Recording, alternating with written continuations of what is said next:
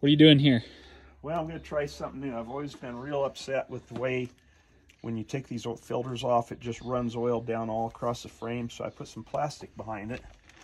So you spent $2 on an engine bag, $2 on tape. You got a piece of crap oil filter wrench from 1903. it won't go around it.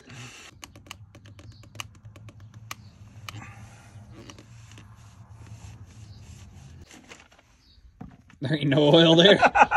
Jesus. One drop.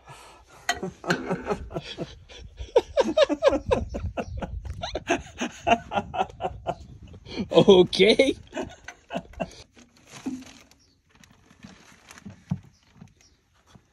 Two drops. No way a rag could have caught that.